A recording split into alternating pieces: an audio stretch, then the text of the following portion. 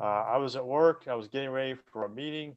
I was just doing a bathroom break and was standing at the sink washing my hands when I felt what seemed like a slight muscle cramp. It wasn't really painful. It was just enough to notice it. And I tried to kind of loosen it up and shake it off. And when it, it really got my attention when I did all that and it didn't seem to change. It didn't get worse. It didn't get better, but it didn't go away.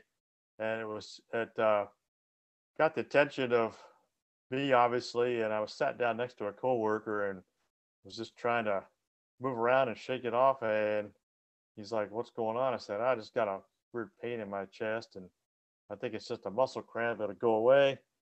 And uh, after a few minutes, I realized that there's this is different. Like I've never felt anything like this before.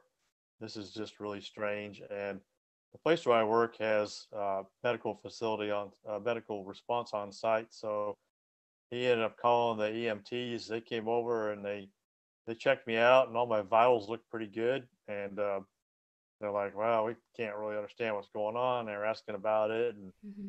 they decided to take me to a local hospital for just just just for evaluation. It's probably no big deal. We'll um we'll just take you there, and they'll check you out. You'll probably be fine by the afternoon, and you know it's just a heartburn or acid reflux or something. And so I I remember the trip to the hospital.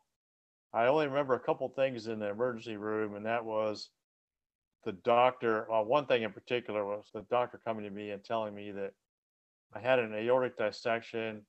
In, in other words, the thing, same thing that killed your mother. And I don't remember contemplating what that meant or comprehending it. I don't even remember what my reaction was, but I distinctly remember that conversation.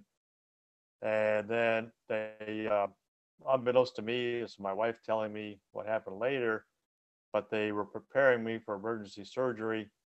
And I got a life flight helicopter ride to Albany Medical Center in Albany, New York for emergency open heart surgery.